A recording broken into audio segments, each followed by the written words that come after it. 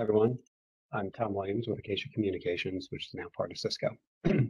um, I'd like to talk today about uh, next steps in coherent standardization and uh, really focus on some industry trends and how we think about coherent standardization and its impact on all coherent development going forward.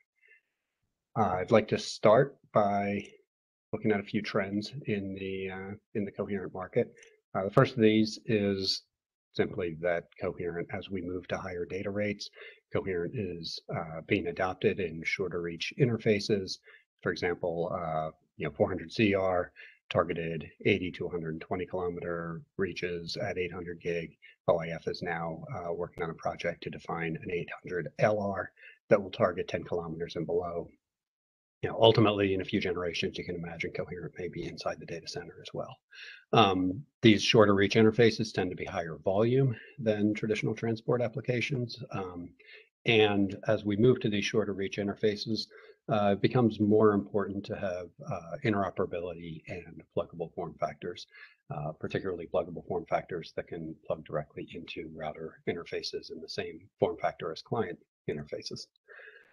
Uh, when we look at uh, you know the, this trend towards standardization, uh, you know 400 gig was a big step forward in in this process, and we have uh, a variety of different standardized interfaces: ZR, ZR Plus, Open ROADM, and um, you know when you look at the forecast for these solutions, they are uh, growing. Uh, you know this is LightCounting data that shows 84% CAGR on a port basis over the next five years or so. And these standardized interfaces are displacing both higher performing uh, solutions uh, in, in, more traditional transport applications, as well as direct-detect solutions in some of the shorter reach interfaces. So really uh, growing in both directions. And if you think about it over time, these standardized pluggable interfaces uh, will be uh, contributing a larger and larger portion of all of the coherent uh, ports in the industry. The third trend has to do with the uh, our, our, Shannon limit that has been talked about quite a bit over the last few years.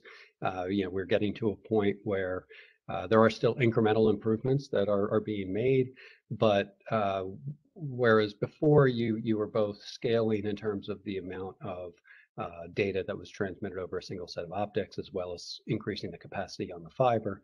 Uh, we're still scaling as we increase baud rate. We're scaling the uh, amount of data uh, per, per set of optics, but the amount of data on a fiber uh, is growing more incrementally than uh, than what it did in previous generations. And so this changes the way that we think uh, about you know uh, how how we development develop products and, and different different cycles and, and how we need to find find ways to to grow network bandwidth more efficiently over time. And I think if you consider all of these things, basically these the high volume standardized solutions are going to uh, really be what drives the industry investment. And so I think that we we view that as being sort of the starting point where where the largest volume is going to be, and then you want everything else to sort of build on top of that investment.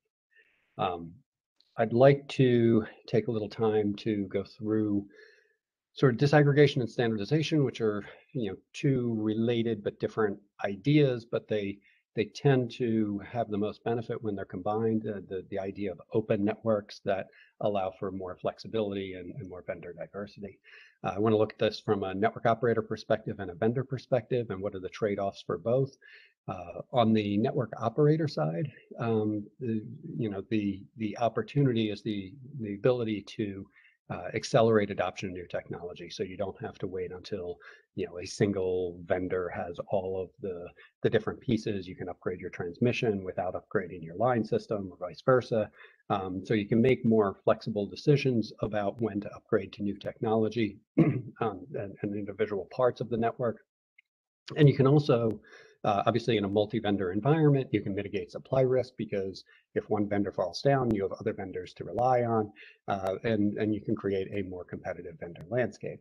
Um, but this doesn't come for free. On the network operator side, you do need to invest more resources, both in terms of aligning the vendor base to these interoperable standards um, and doing more qualifications. If you uh, want to bring on more vendors, if you want to create a more competitive environment, then you need to spend resources on additional qualifications.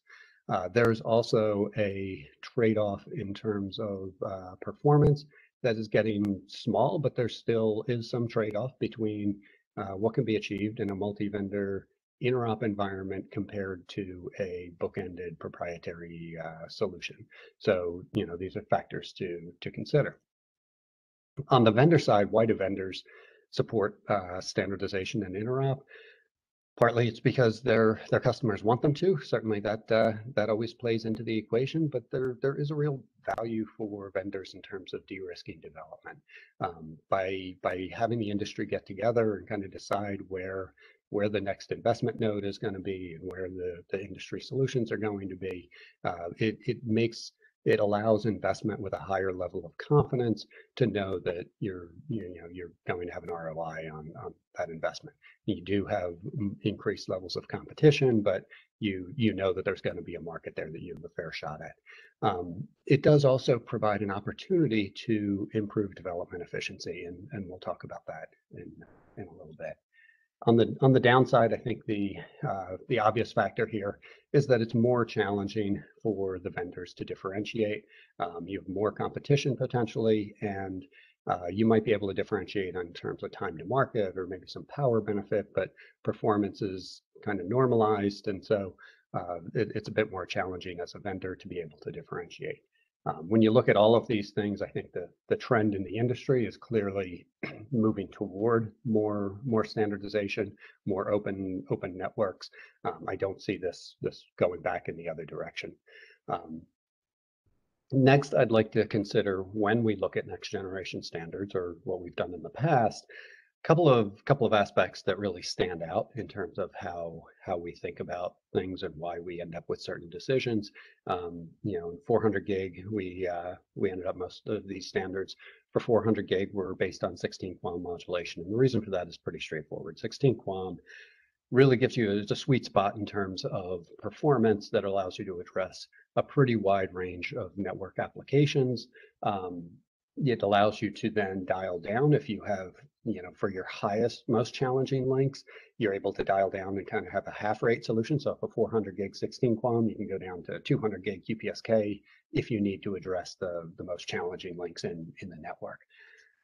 Um, it also has the benefit of being well aligned with PAM4 technology that's being used for a lot of high volume applications inside the data center. So you know, where you have uh, development investment, and not obviously different module solutions, but there there's efficiency in having correlation between these solutions and, and you can leverage some of the component technology and the component investment uh, and, and bridge across the different applications. So that, that really does provide some, some benefit because you're operating at the same baud rate with similar types of, uh, of modulation on things like drivers.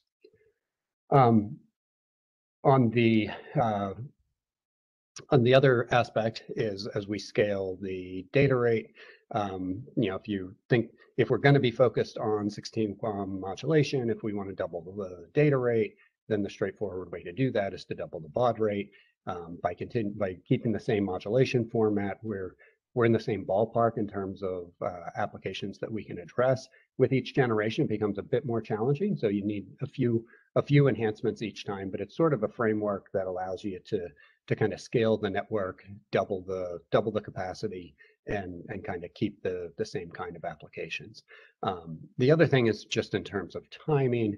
You know, I think it's healthy for the industry to have sort of these big investment phases that are, you know, three, four, five years uh, apart, um, because it allows allows the vendors to have a, a, significant ROI. It fits with network operator upgrade cycles, um, and it avoids lots of small iterative steps in between.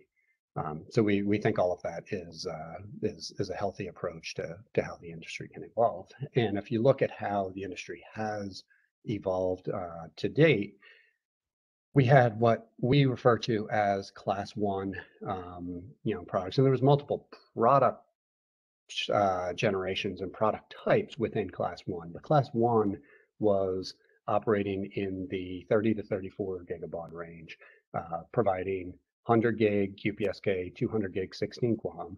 Um, you know, if you start on the left, the AC100 or the OIF 5x7 was just a 100 gig product. Um, you know, then the CFP was just a 100 gig product. Then we introduced 200 gig products. Uh, standardization in this time frame was really about form factors. Think CFP2 ACO, CFP2 DCO, um, or component level where OIF standardized things like coherent receivers. Um, not so much. There was some optical standards. There's 100 gig optical standards, but uh, generally left a lot of performance on the table compared to proprietary implementations, so not widely deployed. When we move to the current generation, operating in 60 to 68 gigabaud, um, now we did move to optical interface standards. So in this case, we have, might have had mo uh, module form factors in mind, but generally had uh, you know interoperable optical uh, interfaces, uh, ZR, ZR plus, uh, Open ROADM, and and this has created a, a higher level of openness in uh, in networks. And in this case, we're as I mentioned before, 400 gig 16 QAM, 200 gig QPSK, so we scale everything by a factor of two. Looking toward the next generation, you know, we see a class three component that operates in the 120 to 136 gigabaud range. That will support 800 gig 16 QAM, 400 gig QPSK, um, will allow you to cover a wide range of, of applications, fits that model of the development timeline being on the on the right pace and cadence. And that's what we're seeing in the industry standards discussions that have started. We're still fairly early in the process. Some are more mature than others, but um, you know, I think 800 ZR, and, and Open ROADM discussions are, are kind of getting started for this next generation. And I think we'll we'll end up with something like this where we'll be operating in that baud rate and uh, in the 16 QAM uh, for the higher higher data rate applications.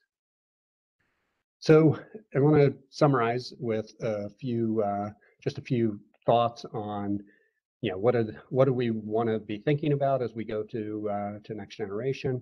Obviously, standardization is going to become more and more important, right? This trend is only going forward. Uh, the shorter reach interfaces are going to drive the the biggest investment, and so we we really need to think about how we develop solutions that can scale to to high volume and and in a in a power efficient and cost effective way.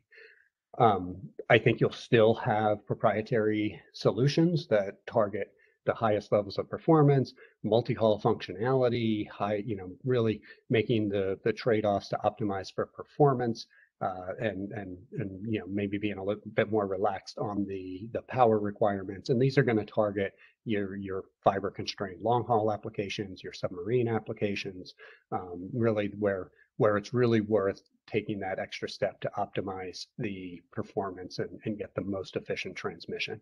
But over time, these these may still, you know, the absolute number of these solution these ports may actually continue to grow, but the uh, share of overall coherent ports will will probably decrease over time.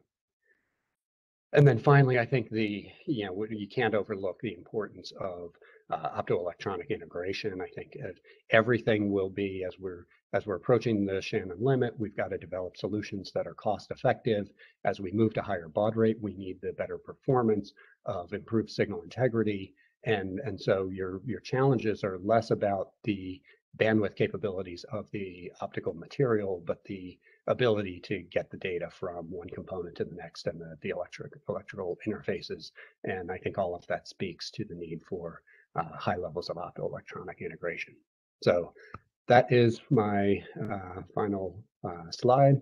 I appreciate the time to uh, to speak to everyone, and I really hope that we can all uh, be in person for uh, for hopefully OFC next year and, and get back to normal soon.